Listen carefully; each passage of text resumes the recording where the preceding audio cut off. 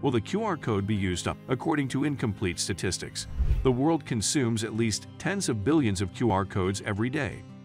Due to the influence of carriers, the size of QR codes is limited, which means that the number of QR codes is also limited. In other words, it is entirely possible that the possible combinations of QR codes will be used up, but this time may be far beyond our imagination.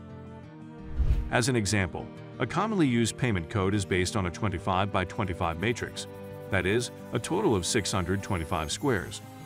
After removing the three glyphs used for positioning, there are still 478 squares, each of which can be black or white.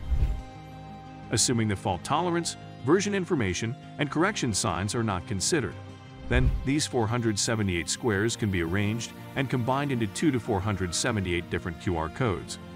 How big is 2 to the 478th power? 2 to the 478th power is roughly equivalent to 78 times 10 to the 142nd power. Assuming that 7.6 billion people in the world use one such QR code every second, it will take at least 3 times 10 years to the power of 126 to use up these QR codes.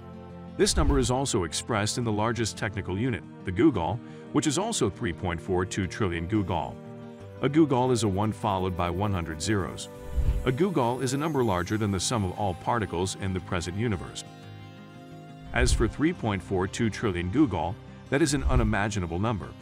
This length of time is not much different from infinity to us. And this is just the number of combinations of the 25 by 25 matrix QR code.